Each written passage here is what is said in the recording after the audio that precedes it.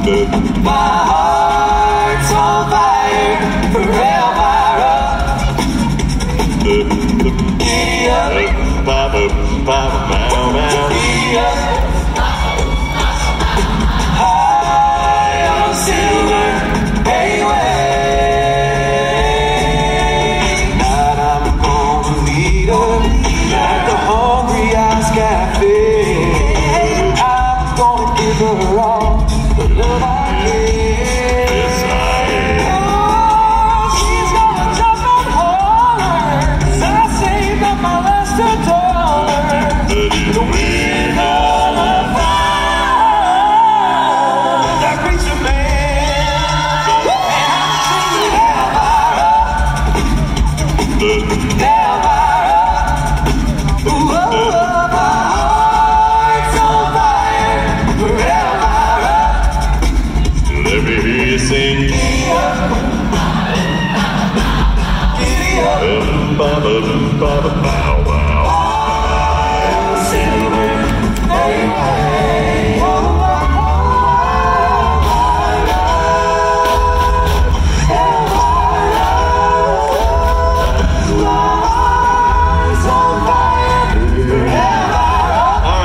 Wisconsin, let's have a little fun.